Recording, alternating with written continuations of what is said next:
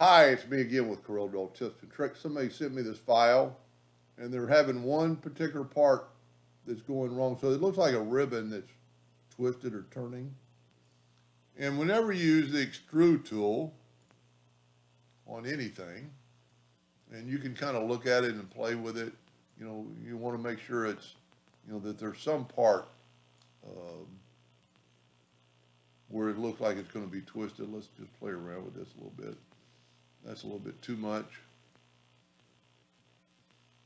Let's try, you know, there's different kinds of extrude that you can play around with too, uh, to do things like this.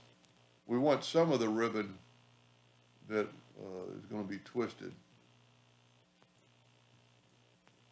And let's try another different extrude. And yeah, we'll call that good. Their problem is, so now you go and break the object apart and break these extrude part apart.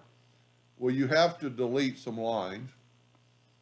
And we're just going to take the virtual segment delete key and you just kind of got to use your imagination that we don't need that line because this is going to be the new color and you don't need that line.